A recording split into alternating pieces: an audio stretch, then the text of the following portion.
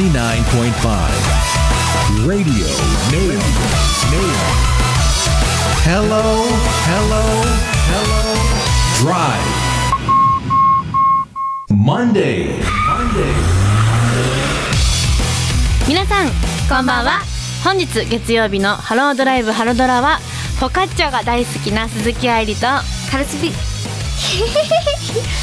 カルピスバターの乗ったトーストが好きな Juice=Juiceの宮本佳林でお送りします。なんやねんそれは、えーこの番組は月曜日から金曜日まで現役ハロープロジェクトと OG を中心とした日替わりメンバーが深夜のドライブタイムやお休み前の皆さんに夜な夜なヤマジの女子トークをお送りしていきます。はい今日の自己紹介はアンジュルムの川村文乃ちゃんからもらいました、はい。好きなパンは何ですか？という質問なんですけれども、はい。好きなパンね。フォカッチャ私フォカッチャ大好きなんですよ。知ってるフォカッチャ？多分私が持ってるフォカッチャはあのサイゼにあるやつ。そうそうそうそうそう正解正解。ですよね。サイゼリアにあるやつめっちゃ美味しい。美味しいですよね。サイゼの美味しい。だけど愛理はいつも整体に行く帰りに、はい。三軒茶屋のせ整体に行ってるんだけど、はい。三軒茶屋にあるパン屋さんのめっちゃ和風な惣菜パンばっか売ってるパン屋さんに売ってるフォカッチャがめっちゃ美味しいの、それをトーストでちょっと焼いて、はい。中はもちもち外はカリカリ。美味しい。うん美味しい。最高。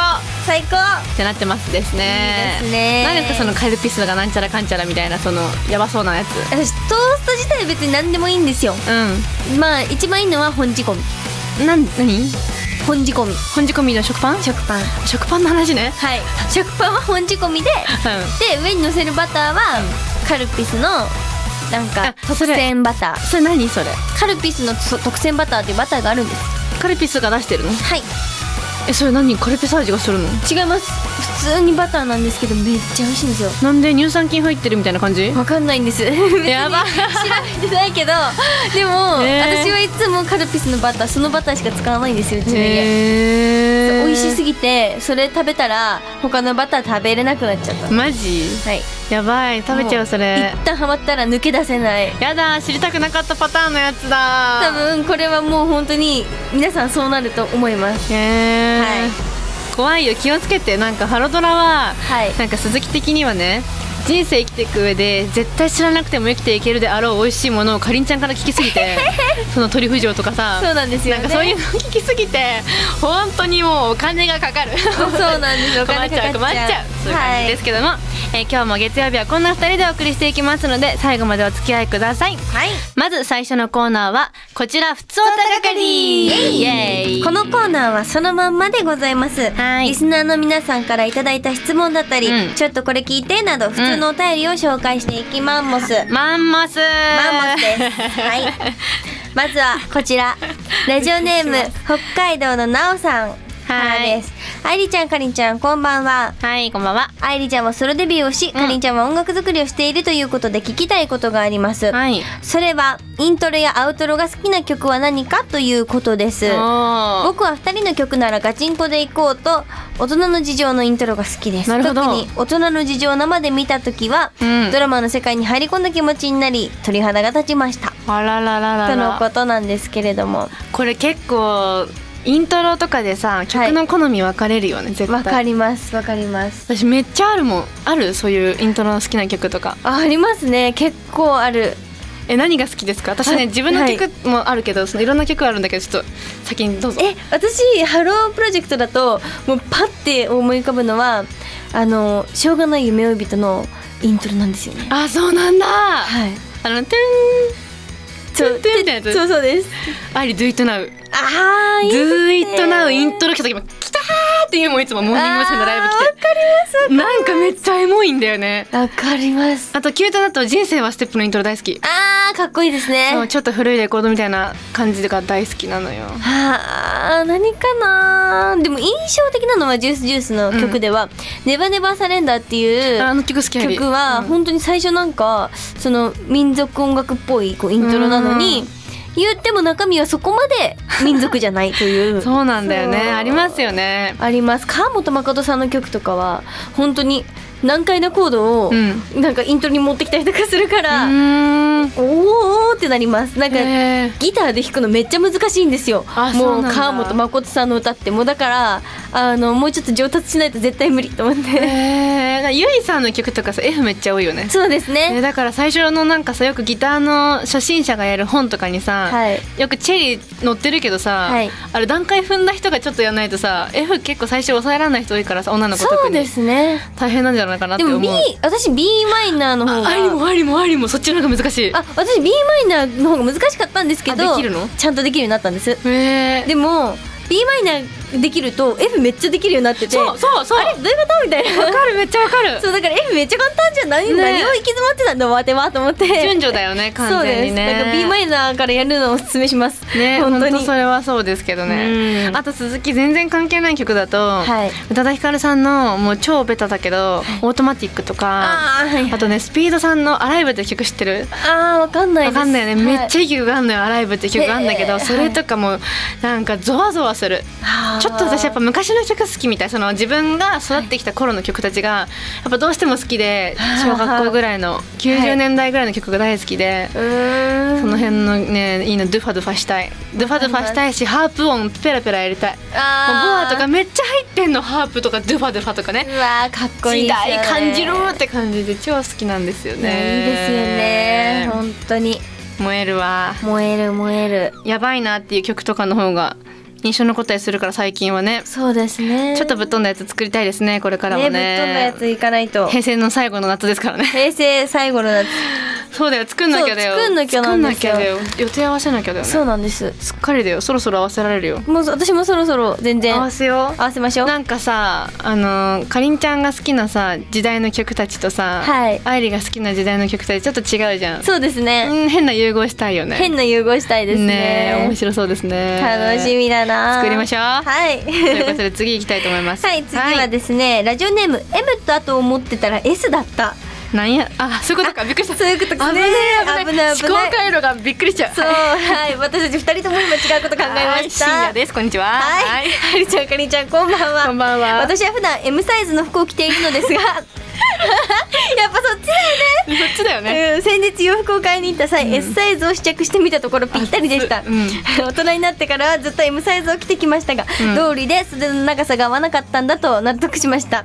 これからは S サイズの服を買おうと思います、はい。お二人は今まで気づかなかったけど最近気づいた意外なことってありますか？とのことで。うんいやこれラジオネームさやめた方がいいよ普通にこれだけ見たらさなんかね、健全な人はみんなそう思うよね。そう、うん、健全うちら健全ですよね、ねえ本当にもうだってね本当に。え洋服のサイズとしか思わなかったよね。うん洋服のサイズとしか思わなかっしたか思ってないよねうん別に。本当に。何ですか？袖の長さがね合わなかったんですけど、いうん。それは S サイズの体なのに M サイズを着てたからだよっていう。ああなるほど、い。かりんちゃんは S と M どっちですか？まあ私の場合はですね、はあのーそうですね。ね。まああの自分自身に対しては、はい。まあ S 系とあー。N うん S 系あるかな。自分自身に対して S だけど、その自分自身が自分自身に対して M というか、うんなんだなんだ。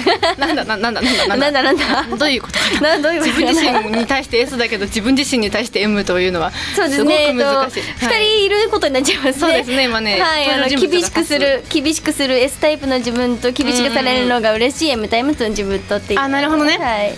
私でもありもこの占いのその携帯電話でさ、勝手にさ自分の性格診断やってくれるやつでさありますね。そうよく休暇の時からめっちゃ流行っててさ、はいよくナルチカの移動中とかにみんなやってたの。はい。無料でできるやつね、はい。それの時とかもあにもそうやって出た。なんか自分のことを追い込む時は S だけどなんか人から S なことされるの好きじゃないみたいな。なんか。そういううタイプらしいっはていう真面目な SM の話をするっていうい。ねそうね結局そっちに行くんかいっちに行くんいかいっていうね、はい意外でしたそういう感じですけどね、意外でございます。ということでね。はい次行きましょう続いてはですね ラジオネームツナカンさんです。はい。愛理ちゃんかりんちゃんこんばんはらドラ。ハロドラすっかり暑くなってきましたね、うん。私は暑いのが苦手なので夏が辛いです、うん。突然ですがお二人に質問です、はい。春夏秋冬をランキングにするならどういう順位にしますか、うん。ちなみに私は1位春かっこ桜が好き。2位うん秋秋服が好き、うん。3位冬こたつが好き。4位夏暑いですうん。なんかいいね。季節ごとに好きなものが単発的にあって。はい。ねでも夏が4位っていうのは私の中でちょっとどうなのかな。えなんでなんで？夏好きですか？順位どうですか？まあ10位で言うと3位になっちゃうんですよ。結局やっぱり、はいうん。あの暑くも寒くもない秋が1位、うん。で春が2位。春なんでかっていうと花粉症っていうかがちょっとないわっていう感じで。え花粉症持ってたっけ？なんかちょっとあそっちの毛があるから始まった？そうちょっと。仲間入り。でちょっとでも仲間入り。してるつもりはないんですけど、いいよ全然来てもうんでもちょっとその周りの人もぐちぐちしてたりとか。本当にあとなんか環境変わるじゃないですか春って、うん。ちょっと嫌なんですよね。あそれ嫌なんだ。やっぱちょっとなんかガラッと変えられると、うん。心境的にこうなんかついていくのが大変だから2位でうん。で夏は3位ですよやっぱ。でも夏と冬行ったら完全にだから春夏あ秋春夏がうん。こうなんですか引き離してこう1位でも冬が引き離されて4位みたいな。あえー。もうないですえしょうなりしょうなりしょうなりしょうなりみたいな感じもう本当にもう冬冬をもう順位付けするならもうなんかもううん。1555位みたいな。わかりますめっかちゃ低いしどんだけその間に何の季節があるんだって感じだけど。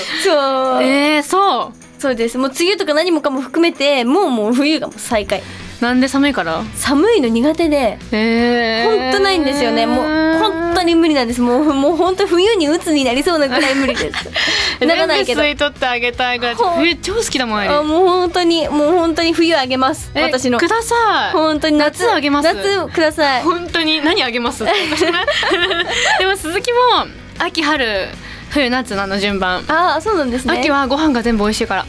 美味しいものが一気に増えるから、うんうん。でなんか秋服も好きだし過ごしやすい、はい。でも短いから貴重じゃん、はい。で春はアイリは逆になんかあの秋と春結構競ってて、はい。春も結構好きなんだけどでもその落ちてる理由がその花粉症で辛いから、まあそうですよね。歌えなくなるじゃん。好きじゃない。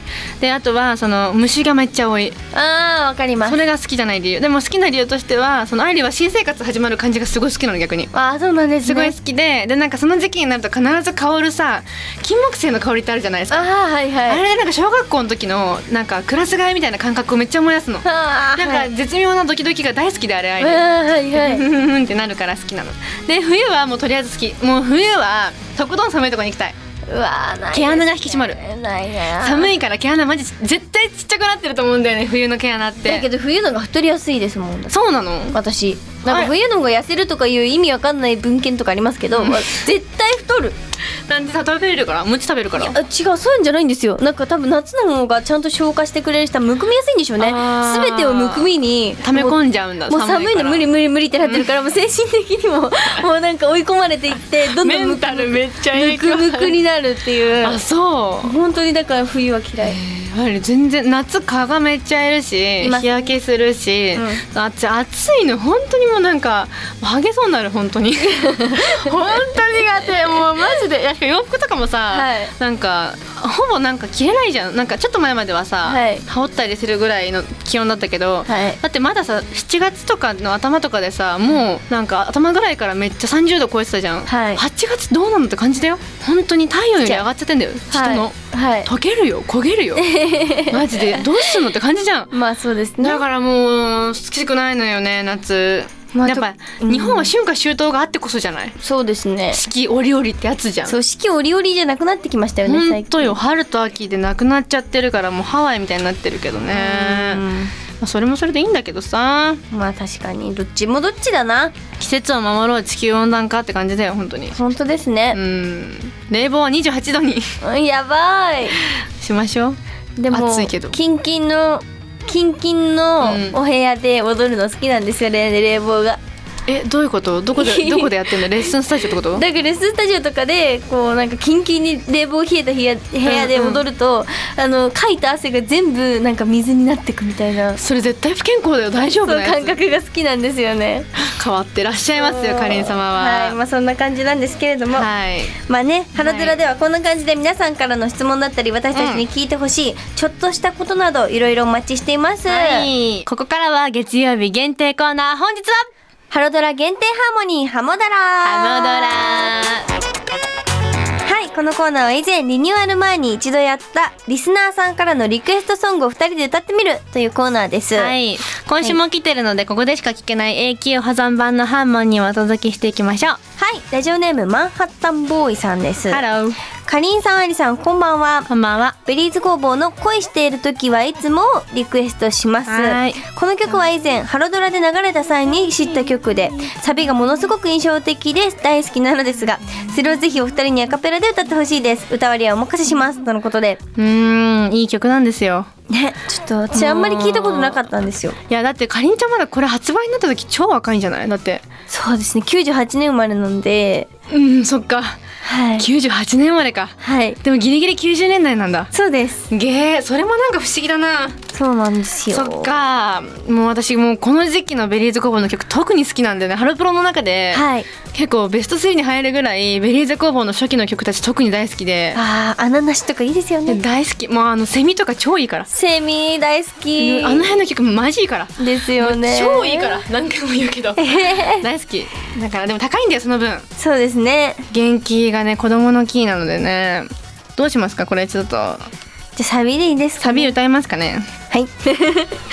じゃあ行きますか。はい行きます。でも愛ってなんとなくアドリブっていうかなんか楽しめりゃ納得ね。そりゃ好きすぎるから行き過ぎる日もある。考えすぎちゃう日も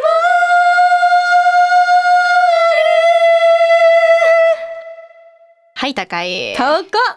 この曲ブリーズ工房も最後の歌ってなかったもんねみんな。まあそうですね。聞いただから聞いたことないんですよねきっと私。そうかも。高いもんだってこれとなんか秘密の歌姫超高いよ。あー高いですね。超高い。なんかでもいい曲多いんだ。よあのベリービューよりも高いイメージありますけベリービューで高い。キラジューセイ認めたらすごい思い出深いけど超高いんですよあの曲もね。じゃあ次いきますね。はい続いてのリクエストはこちらです。ラジオネームスタトワイライトエクスプレスさんです。すごいですね。何なんだろう。早いね。新幹線かな。早い早い。えー、愛理ちゃんかりんちゃんこんばんはっす。わっす。ーかりんちゃんの影響で人生初の松田聖子さんのライブに行ってきました。いいな。かりんちゃんの歌う聖子さんが大好きでそれがきっかけで松田聖子さんも好きになりました、そこでやっぱり今回聞きたいのは松田聖子さんということでリクエストさせていただく曲はあなたに会いたくて Missing You です、えーぜひお二人の歌声をお聞かせてくださいということですけどもはい。私もかりんちゃんが歌う松田聖子さんの歌好き。本当ですか？鼻歌ぐらいしか聞いたことないけど好きだよ。えー、恥ずかしい。合ってますよねめっちゃ。よく言われない？なんか雰囲気めっちゃ合ってるって言われない？えー、でもまあ好きだからそう。超好き。歌いますか？この曲鈴木ちっちゃい頃ずっと歌ってたの。へもうえ超もう2歳とか3歳とかの時だけどもうそれぐらいぶりに一回も一回もっていうか歌ってないからね。なかなかあれですけど。はあ。やっぱちょっと似てるよかりんちゃん、本当ですか？うん、リスペ、リスペクトを感じるもんいやー嬉しいですけどね。いいですね。嬉しいです。よなんかいいよね。やっぱりやっぱいい曲。歴史のある曲というかさいい曲。いい曲多いですけどね、それでは続いてのリクエストに行きたいと思います、はい。ラジオネームけんぼうさんからです。はい。鈴狩さんこんばんは。新しいな野菜みたいだな。本当だよ。なんだこれ。えー私がお二人に歌ってほしいのは残暑見舞い申し上げますです、えー先日久々に聞いた時にやっぱりいい曲だなと思ったのでせっかくなのでご本人とかりんちゃんの声で聞きたいです。お願いします。ということでこれ鈴木の曲なんですよそうですね。ちお見舞い申し上げますのカップリング曲なんですけどもね、そろそろ時期かなと思いますので。はい。間違えたらごめんなさい。全然いいよ。それでは歌いたいと思います。はい。電話する勇気などあれば今頃。あの恋まだ続いてたわ苦しいな切ないなせめて一言あなたに伝えたい。はい。いい曲。切なさ多めの残暑見舞い申し上げます。切ないですねそういうことですよ。はい。ちょっと若い声ですねこれね。めっちゃ若いよこれ。多分いつの時だ？私がまだ前髪パッツンの時だからパッツンの前か、だから高校生ぐらいの時高1とかはあぐらいの高曲校生ぐらいの恋な感じですねこれはね。そうだよ。残暑見舞い出すって やっぱりねやった方がいいよね。最近さデジタル化してるけど、そうですね。はがきとかちゃんとやった方がいいよ。そうですね。えでもなんか私的にかりんちゃんはその松田聖子さんとかみたいな曲をはい。ちょっとどちらかといえばインというようだったら弱めな曲。はいをなんか歌うイメージがあるんだけど、うんうんうとどちらかといえば陰の曲なの、まあ確かにそうね、でこういう曲ちょっと歌ってほしい。私ねそういう曲だと呪ってるみたいになるんですよ。えマジ？全然いいじゃん。本当に感情入れすぎると私呪いにえいいじゃん。突入する。あり呪いみたいな歌の人好きだよね。ちょっとそれ言い方と違うんだけどさ。かじゃあ自分そういうつもりないんですけど、うん。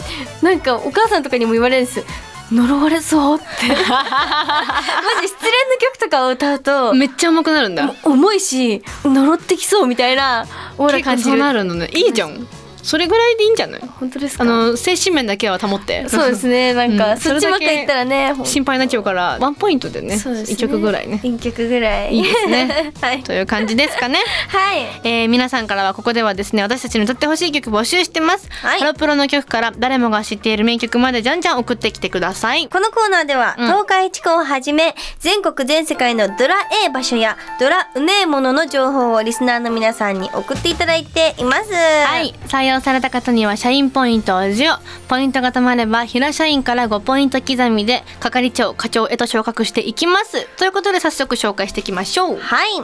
ラジオネームスタビライザーマンさんです、ん。えー、愛梨ちゃんかりんちゃんこんばんは母めっちゃ笑っとる。はい、えー今回僕が紹介するのは、はい。京都に本店があるコンペイトーの専門店、うん。緑樹緑寿庵清水すごい5文字の漢字はい。コンペイトーとは思えないフレーバーの種類の多さと、うん季節限定のコンペイトーがあったり、見てるだけでも面白いです。中には半年以上予約待ちになったりする商品もあり、えびっくりしています。え え、でも本当にすごいですよ。何？コンペイトーすごいですよ。どんな感じですか？ほらもう、シャンティー。あでもすごいかっこいい。なんか、なんかお酒入れる瓶みたいなのに入ってるはい。そうめんのなんかあの、お中元みたいなのに入ってるやつある。だって入れ物。わかります？ね例え方。なんでそうめんって言ったの？箱の、木の箱のお中元まあそうですね。高そうな木箱に入ってますけどね。高そうな木箱のほらもうこういうのとか喜ばれそうあだよ、本当ですね。入れ物もなんか様々だね、うん。色濃いもんねちゃ。んと色を変えていうかちゃんとちゃんと。あれなんだろうね。砂糖だけじゃなくてさなんか果汁とか入ってそうだよね。黒糖とかになってるもんだって、まあ黒糖は絶対美味しい。ね季節限定でスイカとかあるらしいですよ。え季節限定はでもスイカ？今スイカ、うん。ミルクのコンペイトーだってよ。あでも。かりんさん鼻が広がってます。えっと、えー、13種類のお味を定番品として販売しているらしく。いちごみかんレモンうん。メロンうん。リンゴうん。ニッキうん。生姜バニラパインバナナ桃のコンペイトーと天然水サイダーと。サイダー美味しそう。えシュワシュワしてくれるの？えしてくれなかったらうん怒るよね。多分してくれないですよねコンペイトーしてくれんのかな？ラムネみたいな味するんじゃない？ですよねだからシュワシュワしない、なんか、えあーのほらどうします、ん。あのスタビライザーマンさんは今はい。3ポイント持ってるらしいんですけど、スタビちゃんね。スタビちゃん。スタビちゃんは3ポイント持ってるんだって。3ポイントってことはうん。どうしようかな。じゃあ清水の3ポイントで6ポイントなので係長に昇格です、あすごいじゃん。なんか今日優しいじゃん。おめでとう。え何？5ポイントで昇格だっけ？はい5ポイントで係長です。うわおめでとう。あと4ポイントで課長だよ。はい。3ポイントおめでとうございました。おめでとう。みんな 何今の？やばい。噛んじゃったおめでと噛んじゃった。おめでとうございます。おめでとう。い。やはい。え皆さんからの全国世界のドラえネタお待ちしております。現在のえ獲得ポイントを添えてくれると嬉しいです。はい、情報の宛先は、ハローアットマークレディオハイフンネオドット JP、はい。HELLO アットマークレディオハイフンネオドット JP まで。以上こちらハロドラ探偵社ザワールドでした深夜24時からお送りしてきました。ハロードライブハロドラ。そろそろお別れのお時間です、はい。今回のハロドラどうでしたか？いいやー、歌ったね。楽しかったね。歌いました。楽しかったね。歌っちゃったもんね。楽しかったね。わい。わいわいわいわいわいわいわい何何何何何何？なんか来ました。え何何何何？え、出た。さっきのコンペイだ。コンペイトーだややばい。さっき銀座にあるって言ってたからですか？ばいえ、嬉しい。ゲロー。なになになにやばい。抹茶ミルクの子、抹茶ですよ？えそうだ来たよ。えどなんかもうう梅はないみたいだかりんちゃん。よかったです。すい。ません。よかったです。鈴木さんのね、好きなのがあってよかったです。すいません。えそうだシュワシュワするか確認しよう。はい、わかりました。やばやばいやばいやばい。え、ま、抹茶ミルクのコンペイトーめっちゃさお茶の葉が入ってるみたいななんかお茶の葉の入れ物。あーすごい。わっぱみたいな入れ物に入ってる。わっぱ？あわっぱね？あそのわっぱね？タッパかと思った。タッパじゃないです。すごい超洒落てるこれやばい。待って私私破壊しちゃいそうな気がする。ほら破壊しそうじゃないですか？うちの矢島さんすんごい破壊するからこういうの。オッケー。もうめっちゃなんかおしゃれに入りすぎてハサミハサミ。えじゃあどっちからいく？ー、はいじゃあ。抹茶ミルクからいこうまず。そうですね抹茶ミルク。一個ずつ。えすごいすごいすごい。かわいいよいただきます。いただきます。う抹茶ミルク抹茶ミルクだね。あ噛んだ噛んだ噛んだ。噛んだ噛んだ噛んだ。口の中からでもねとっても抹茶ミルクです。なんかなんですかね。なんかもう抹茶ラテ飲みたいけどでもそんなにたくさん飲めないって時はいい感じです。これで満足できそう。抹茶ミルク2500円だって。うわ結構ちゃんとする。一粒あたりの価値やばくないですか？やばいよ。今すごいなんか私自分の口の中噛んだ噛んだ噛んだとか言いながら食べちゃったけどさ、これ味わわなきゃいけないやつだよ。やば。甘甘いい牛の乳の2種を熱を加えてるらしいよ。なんか甘いの無理って時とでもなんかいけそうなま雰囲気。富士の最高級抹茶だって宇治茶大使的には最高じゃないかこれ。やば。熊井ちゃんに言わなきゃいけないやつですね。宇治茶大好き大使一押しのコンペイトーでございます。はい次ソーダ味いきソーますダ味どうぞ。でれーんどんな味がするんでしょうか？あソーダの匂いする。本当だ。ラムネっぽい実食。うんラムネだ。してるこれシュワって。しない。待ってしてるように感じちゃったな私だけですか？してないよ。しないのか。ラムネって感じ。えでも本当に美味しい。そうだラこれムネ1500円。うなんかすごいな。んすごいな。なんかごめんなさいって感じだねなんか。ね申し訳ないです。高級感がありすぎて。これ、はい。コンペイトーは噛んでいただくと風味が一層増すんだって。舐めちゃいけないって舐めないで噛んだ方がいいらしい。であの混ぜないでって書いてある他の味と。いやーなんで？なんかそれで混ぜて保存すると風味が混ざるんだって。あーなんで混ざりそう。こだわりがありますよ。こだわってんなこだわってんなこっち美味しいな。うん抹茶ミルクよりも好きだな。なんか唯一無二感あるよね。違う抹茶ミルクの方が噛みやすい。いやわかる。柔らかい。柔らかい Mmm.